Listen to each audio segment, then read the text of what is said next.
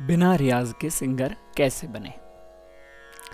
मेहनत बिल्कुल ना करनी पड़े और काम हमारा पूरा हो जाए। सवेरे न उठना पड़े। शाम दोपहर में थोड़ा बहुत गालियाँ गुनगुना लिया और काम हो जाए, सिंगर बन जाए, मस्त वाले और लोग पसंद करने लग जाएँ फेम मिल जाए, प्रसिद्धि मिल जाए। लेकिन साधना न करनी पड़े, सिद्धि न करनी पड़े। क्या इसका भी कोई तरीका होता है? क्या कोई रास्ता है? शॉर्टकट है क्या कोई? ये सवाल आप ही लोगों के हैं।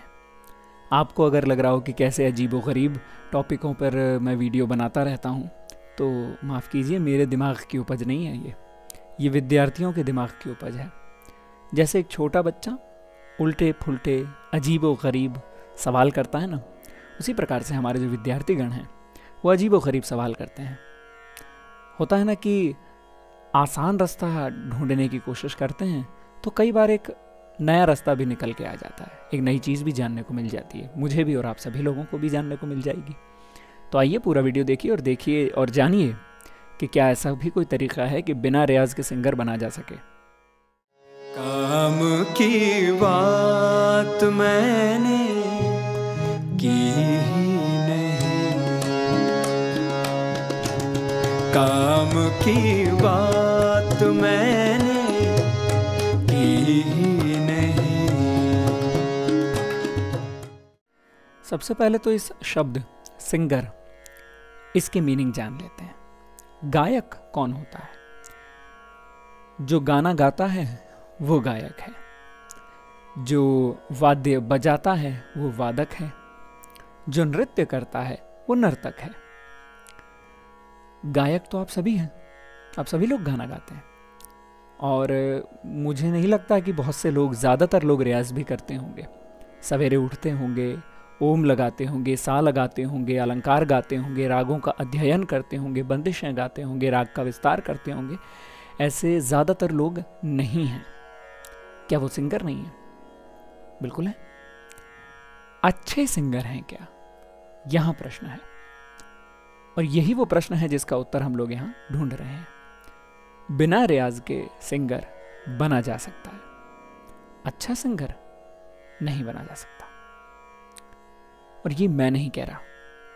क्योंकि लोग कहेंगे कि आप कितने अच्छे सिंगर हो फिर, हैं? आपने कितना रियाज कर लिया। ये हमारी सबसे बड़ी जो ख़ास बात है मनुष्यों की, वो यही है कि जैसे ही जिम वाले के वहाँ जाएँगे, वो बता रहा है कि ये ये एक्सरसाइजेस करो बॉडी आपकी तंदुरुस्त हो जाएगी। सबसे पहली नज़र आपकी उस पर पड़ेगी। आपकी क्यों नहीं बनी फिर? है कि नहीं? गुरु कहे सो कर, करे सो न कर। ऐसी कहावत है। शास्त्रीय संगीत में सुनी है मैंने तो आप लोगों ने भी अगर ये कहावत सुनी हो तो है। गुरु जो कहते हैं वो करना चाहिए। जो करते हैं आवश्यक नहीं है कि वो करना ही हो। मैं कोशिश करता हूँ आप सभी लोगों को बताने की जो कुछ मैंने सीखा है जो मेरे गुरुजनों ने बताया उसको आ, सहायक रूप में आप तक पहुँचाने की। तो बिना रियाज के सिंगर बनने की जो ट्रिक है आप लोग ढूंढ रहे हैं। ज़रा सोचिए कर्सिव हैंडराइटिंग की प्रैक्टिस करते थे हम जब बहुत छोटे छोटे थे तो। अक्षर बनाने की अभ्यास होता था। अगर वो अभ्यास ठीक से न हो तो हमारी हैंडराइटिंग भी कोई नहीं पहचान सकता है, न हम खुद देख पाएँगे। वर्ण बनाने की खूबसूरती हमारे उंगलियों में होती ही नहीं, अगर हमने अभ्यास न किया होता तो। किचन में खाना बनाने का अभ्यास होता है। रोटी किस तरह से बेलनी है, उसका अभ्यास होता है। कपड़े किस तरह से पहनने हैं, रोज़ाना हम वही शर्ट के बटन लगाते हैं। अभ्यास हो रहा है, रियाज हो रहा है। बिना किसी भी चीज़ को दोहराए रिपीटिशन करे, बार बार बार बार किए, पूरा सिलेबस होने के बाद बिना रिवीजन किए, काम नहीं बनता है तो संगीत में कैसे बन जाएगा? कि बिना रियाज किए आप सिंगर बन जाएँगे, अच्छे सिंगर बन जाएँगे। मैंने अभी हाल ही में एक वीडियो दिया था जिसमें मैंने बताया कि सिर्फ़ पाँच मिनट रियाज करना है। तो उसमें मैंने बताया है कैसे आप अपने आप को, वो होता है ना, थ्री इडियट्स वाला, आल इज़ वेल बोल के बेवकूफ़ बना सकते हैं। तो ये पाँच मिनट रियाज वही है कि आप अपने आप को, जो डर है आपका कि अरे यार, इतने घंटों का रियाज नहीं होगा, इतने सालों के लिए सीखना नहीं होगा बाबा। तो हम अपने आप को बेवकूफ़ बनाने के लिए देते हैं, पाँच मिनट का ही तो करना है, ज़्यादा करना ही नहीं, बैठ तो सही एक बार। वो जब मैंने वीडियो निकाला तो लोगों के सवाल यहाँ तक पहुँच गए। जब मैंने कहा, तीन घंटा रियाज, तब लोगों ने और कम मांगा। जब मैंने बोल दिया, चलिए ठीक है, डेढ़ घंटा कर लीजिए, और कम मांगा। जब कहा कि, ठीक है, कम अज़ कम रोज़ का आधा घंटा तो दीजिए, और कम मांगा। जैसे ही कह दिया, पाँच मिनट कीजिए, अब यहाँ पर आ गए कि बिना रियाज करे हो जाएगा क्या?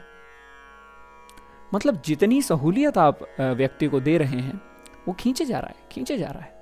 कि और करना ही ना पड़े, ऐसा कुछ बता दो। जैसा कि मैंने कुछ वक्त पहले वीडियो दिया था, कुछ लोगों की ये भी मान्यता है कि रियाज करने की कोई ज़रूरत नहीं है गाने गाते रहिए, काम हो जाता है। हम तो भाई प्रोग्राम करते हैं, रोज़ाना गाना गाते हैं, शोज़ करते हैं तो रियाज की क्या ज़रूरत है? तब मैंने ऐसे लोगों को समझाया था, रियाज का अर्थ। रियाज का अर्थ सिर्फ़ दोहराना नहीं होता है। रियाज यानी वर्जिश है, यानी एक्सरसाइज है, जिससे गेन होता है।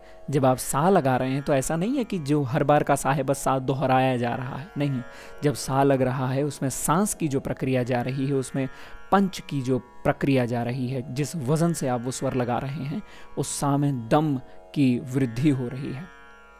कुछ गेन कर रहे हैं।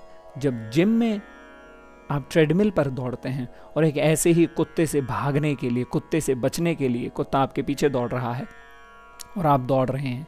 उन दोनों दौड़ों में फ़र्क होता है। है कि नहीं? आपने घर में एक पलंग इधर से उधर खिसकाया और जिम में जाके दंड बैठक लगाई। दोनों में फ़र्क है। आप बोलो, अरे, मेरी तो एक्सरसाइज हो गई, मेरा तो अभ्यास हो गया, रियाज हो गया, देखिए बॉडी बॉडी बन गई अपनी तो। ऐसा कुछ भी नहीं हुआ। जिम या एक्सरसाइज का ये मतलब बाद में है कि शरीर बाहरी रूप से दिखे बल्कि बल्कि यानी थोड़ा बल्क में, यानी वजनदार दिखे। ये बाद में आता है अर्थ। सर्वप्रथम जो इसका अर्थ होता है वो है आंतरिक। आंतरिक वृद्धि हुई है कि नहीं इंटरनल जो स्ट्रेंथ है वो बढ़ी या नहीं बढ़ी? स्ट्रेंथ स्टैमिना एंड्योरेंस ये सारी चीज़ें बढ़ी या नहीं बढ़ी? यही रियाज में भी है। रियाज का ये मतलब नहीं कि गला कितना तेज तेज तेज तेज चल रहा है। वो तो रियाज का अर्थ होता ही है सेकेंडरी पहला जो अर्थ है रियाज के फ़ायदे, मैंने एक बार एक वीडियो में बताया था, उसमें यही समझाया था कि रियाज का मतलब सांस बढ़ी कि नहीं बढ़ी, आवाज़ एक सा लगाया उसमें वज़न आया कि नहीं, दम आया कि नहीं, नर्म है कि नहीं, मधुर है कि नहीं, सच्चा है कि नहीं। क्योंकि रियाज एक फारसी भाषा का शब्द है, रियाजत कहते हैं। पूजा होती है। रियाज का सिर्फ़ मतलब गले को चलाना नहीं होता।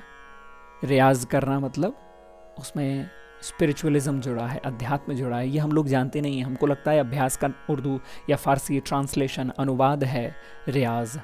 एक्सरसाइज या प्रैक्टिस को हम हिंदी में आ, अभ्यास कहते हैं और अभ्यास को ही फारसी में या उर्दू में रियाज कहते हैं। ऐसा नहीं है। रियाज में स्पिरिचुअलिज्म भी है इबादत है पूजा जुड़ी हुई है जिसे हम हिंदी में या संस्कृत में कहें, साधना कहते हैं। साधना में और अभ्यास में पुनरावृत्ति या दोहराना बार बार उसकी आवृत्ति करना रेपिटेशन करना, उसमें और साधना में फ़र्क होता है। ऐसा नहीं कि भाई मैं गायत्री मंत्र की साधना कर रहा हूँ तो बस उस मंत्र को बार बार बार बार तोते की तरह रट रट रट के रिपीट करता रहूँ। उसमें सजग अगर मैं नहीं हूँ अवेयर नहीं हूँ, उस मंत्र का भाव मुझे नहीं पता है। तो उसका असर नहीं हो रहा है, मैं साधना नहीं कर रहा हूँ, मैं बस तोते की तरह पट पट पट पट पट रट रहा हूँ। तो रटना नहीं है हमें, भाव आने चाहिए उसमें। और भाव कैसे आएँगे? सजग रहकर मन से निर्मल, निश्चल होकर आप जब रियाज करते हैं, तब आते हैं भाव। स्वर सच्चा उसी का लगता है, जिसका मन सच्चा होता है। तो सच्चे मन से निसंदेह, निस्वार्थ भाव से जब आप रियाज करते हैं, तब रियाज होता है। वरना गला तो चल जाता है, गला बहुतों का चलता है, स्वर बहुतों का लगता है। यहाँ कितनों का छूता है? और यहाँ भी जब हम सच्चे हैं तो ही हमें सच्चे सुर की पहचान है। हमें लग रहा है, अरे, वहाँ कितना भावपूर्ण स्वर लगाया है। वो भावपूर्ण नहीं है, वो जो काकू है, वो जो दर्द है, वो बाहरी है खाली, वो दिखावा है, और हमें भी असल की पहचान नहीं तो हमें भी वो यहाँ छू जाता है, हमें पता ही नहीं चलता है। तो उसकी पहचान के लिए भी हमें क्षमता होनी चाहिए। तो ये कुछ बातें हैं जो मैं आपको हमेशा बताता रहता हूँ, जिसमें यही बोला है मैंने कि जल्दबाजी नहीं है, कोई शॉर्टकट है ही नहीं। रियाज करने से कतराते हैं लोग, जल्दी जल्दी आगे बढ़ना चाहते हैं लोग, लेकिन सोचिए ना, लिखने का भी जब अभ्यास करना पड़ता है बार बार उन्हीं पुनरावृत्ति एक ही अक्षर को आप देखते थे, पहले कॉपी आती थी, ए ए ए ए, बनाए जा रहे हैं डॉट डॉट डॉट डॉट पे। तब जाके आज हम फ्लुएंटली लिख पाते हैं। तो बिना रियाज के कैसे हो जाएगा? अब हाँ ये सवाल ज़रूर है कि कम रियाज करना पड़े और काम बन जाए। चलो, इस सवाल का मैं फिर भी जवाब दे सकता हूँ कि हाँ ठीक है, कम करिए, ज़्यादा मत कीजिए। कहा तो जो हमारे गुरुजन हैं या गुणीजन हैं, उन्होंने तो बहुत घंटों का रियाज बताया है, पंद्रह घंटे। हैं? दस दस घंटे लगे हुए हैं। लेकिन आपकी लाइफ में संगीत की उतनी अहमियत नहीं या फिर आपके ऊपर ऊपर जिम्मेदारियाँ दूसरी हैं तो कम कर सकते हो। ठीक है, दिन का आधा घंटा, एक घंटा दिया, पूरे दिन का 24 घंटे में से 24 घंटे में से सिर्फ़ आधा घंटा, एक घंटा मांगा। वो तो दे सकते हो। अब उसमें ऐसी चीज़ें करो जिससे वृद्धि हो। लेकिन वही है ना, फिर जब चीज़ें जो गा रहे हैं, उनकी रिपीटेशन कब होगी? अब मैं रियाज करूँ या जो लेसन दिया गया उसका अभ्यास करूँ, उसे दोहराऊं? तो कितना कम समय चाहिए आपको? आपने स्कूल में इतने ज़्यादा घंटे दे दिए और वहाँ निरर्थक कुछ भी नहीं सीखा, क्योंकि जो सिखाया जा रहा था, उसे सजगता से तो हमने सुना या अपनाया नहीं। बस उसे रट रट के डिग्री तो इकट्ठी कर ली हमने। यही काम संगीत के साथ करना है क्या? तो मेरे जो विद्यार्थी हैं, मेरी उनसे दरखास्त है कि कौन हैं वो? क्या वो संगीत सीखने आए हैं? या उसी तरह से रटने जैसे वो विद्यालय से निकल चुके हैं डिग्रियाँ लेकर? क्या वही वाली एजुकेशन चाहिए? क्योंकि वो वाली चाहिए तो तो आप जो कर रहे हो ठीक है, फिर आपको किसी गाइडेंस की ज़रूरत नहीं है। जैसे तैसे करो ना रियाज, मत करो। वृद्धि ही नहीं होगी, बढ़त ही नहीं होगी। जो तप हमने बताया इतने घंटे का, ये ये चीज़ों का ख्याल रख के पूरी रियाज के ऊपर प्लेलिस्ट बनाई मैंने, जिसमें बताया कि फ़ायदे, नुकसान कैसे करना है, कब करना है, क्यों करना है, ये ख्याल रखो, वो ध्यान रखो, ये ध्यान रखो। अच्छा फालतू चीज़ों में तो हम बहुत सारी चीज़ों का ध्यान रख लेंगे। हैं? कपड़े कैसे पहनने हैं, उसका पूरा ध्यान रहता है। कि इस ड्रेस के साथ ये मैच करेगा कि नहीं करेगा, इसके साथ ये मैच करेगा कि नहीं करेगा। खाने में इसके साथ ये खाते हैं, ज़्यादा अच्छा जमेगा। ये सारी चीज़ों में ध्यान रहता है, ये सारी चीज़ों को याद नहीं रखना पड़ता, ये तो मज़ा आता है ना इसमें करने में।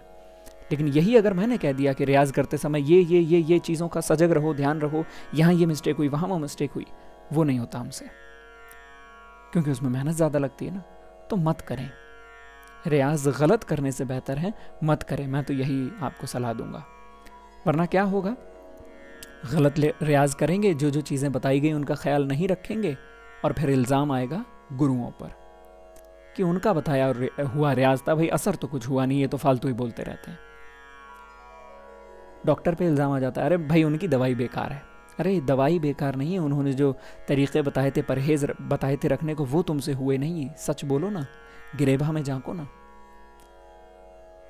तो जब सामने वाला ये सवाल कर सकता है कि बिना रियाज के सिंगर कैसे बने, फिर वो सिंगर तो नहीं बन सकता मेरी नज़र में। चलिए, खैर। ऐसे ही बताते रहेंगे कुछ कुछ बातें। आप लोगों के टॉपिक्स तो आते ही रहते हैं। आप लोगों के अजीब गरीब सवाल हैं, लेकिन मैं कोशिश करूँगा कि मैं अपनी ओर से, अपने गुरुओं की ओर से सही जवाब आप तक पहुँचाता रहूँ। तो बिना रियाज के नहीं होने वाला है। रियाज तो करना पड़ेगा, कम ही सही, मगर करना ज़रूर पड़ेगा। और सवेरे ही करना पड़ेगा। माफ़ कीजिए, इसका कोई अल्टरनेट नहीं है। शुक्रिया।